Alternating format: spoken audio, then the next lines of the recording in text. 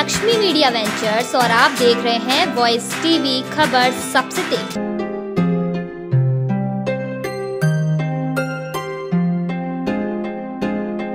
नमस्कार, मैं हूँ आपके साथ कोमल गुप्ता। वॉइस टीवी पर आपका स्वागत है। जनपद फिरोजाबाद के सिरसागंज के इंदिरा मेमोरियल पब्लिक स्कूल में महिला पतंजलि योग समिति द्वारा योग और जीवन दर्शन पर एक कार्यक्रम का आयोजन किया गया, जिसमें बच्चों को बताया गया योग का महत्व। कार्यक्रम में महिला पतंजलि की राज्य प्रभारी श्रीदेवी और राज्य कार्यकारिणी के सदस्य सीमा आर्य के द्वारा स्कूली बच्चों के साथ योग और जीवन दर्शन पर एक कार्यक्रम का आयोजन किया। वहीं उनके द्वारा स्कूली बच्चों को योग से होने वाले लाभ के साथ साथ आज उनके जीवन में योग का क्या महत्व है, वहीं उन्हें खान पान और स्वास्थ्य एवं दैनिक उपयोग में होने वाले योग के बारे में विस्तार से जानकारियाँ दी गईं।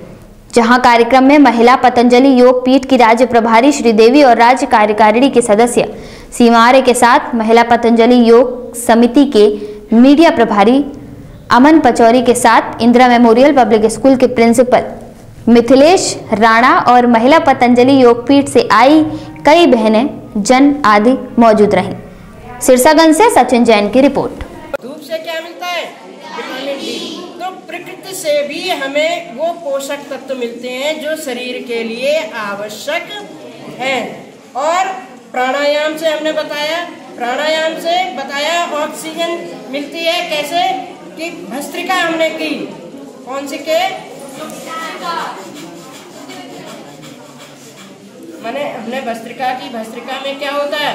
ऑक्सीजन हमारे फेफड़ों में पहुँचती है और जितनी अधिक मात्रा में ऑक्सीजन हमारे फेफड़ों में पहुंचेगी उतना ही हमारे फेफड़े मज़बूत होंगे। मैडम यहाँ पे किस तरह का ये कार्यक्रम आयोजित किया जा रहा है? ये कार्यक्रम आप देख रहे हैं कि योग एवं जीवन दर्शन। मैंने हमने योग के माध्यम से एक अच्छा जीवन कैसे जी सकते हैं? संबंध में थोड़ा बच्चों को मोटिवेट करना है।